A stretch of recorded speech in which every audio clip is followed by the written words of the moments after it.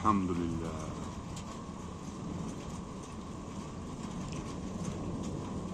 Allahu Ekber.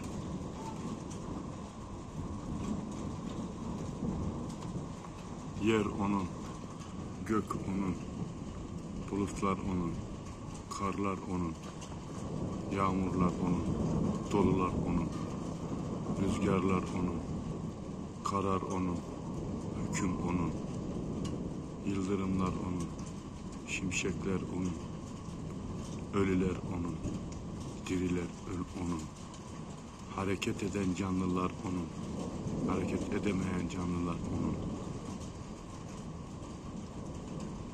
Yerde ve gökte ne varsa hepsi onun.